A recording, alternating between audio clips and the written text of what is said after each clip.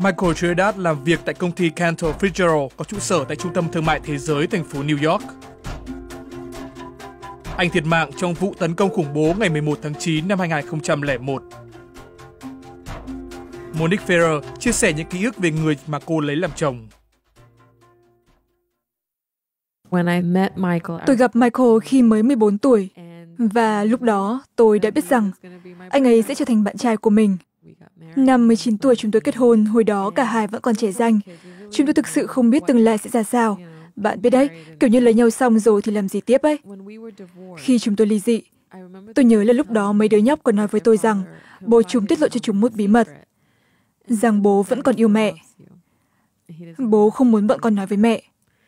Và tôi nói rằng, ừ mẹ biết, mẹ cũng vẫn yêu bố, nhưng bố mẹ đã đường ai nấy đi, và chúng ta sẽ vẫn là một gia đình. Bố mẹ vẫn luôn là bố mẹ của con. Hôm 11 tháng 9, tôi nhớ lúc đó phải dậy sớm để đưa con gái đi khám bệnh. Lúc 9 giờ 4 phút, tôi nhận được một cú điện thoại. Đó là Michael.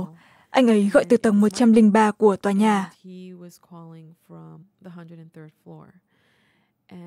Điều đầu tiên anh ấy nói đó là anh gọi để tạm biệt em. Tôi hỏi tại sao? Anh định đi đâu à? Và anh ấy nói, ừ, anh đang ở trong tòa tháp bị máy bay đâm vào. Anh ấy chỉ muốn nói với tôi anh yêu lũ trẻ đến nhường nào.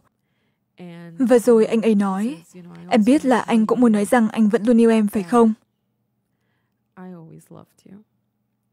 Và tôi nói, em biết, bọn trẻ nói hết về em rồi.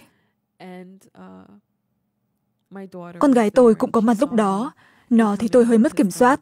Tôi không biết có nên cho con tôi nghe máy hay không, bởi tôi không biết anh ấy sẽ phản ứng thế nào.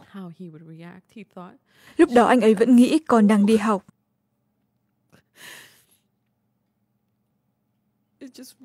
Cứ nghĩ đến việc anh ấy không thể ở bên các con là lòng tôi lại tàn nát. Điều duy nhất anh ấy muốn làm lúc đó là nói với chúng nó rằng anh ấy yêu chúng đến nhường nào. Hai đứa nhóc nhà tôi nhìn giống hết bố nó. Nói năng cũng giống. Giống cả cách pha trò. Thế nên lúc nào tôi cũng có cảm giác anh ấy vẫn ở đây. Bạn biết không, mỗi ngày tôi đều thấy bóng dáng anh qua chúng. Và cho dù anh ấy khiến tôi phát điên như thế nào đi chăng nữa, anh ấy vẫn là gia đình. Là người bạn thân thiết nhất của tôi.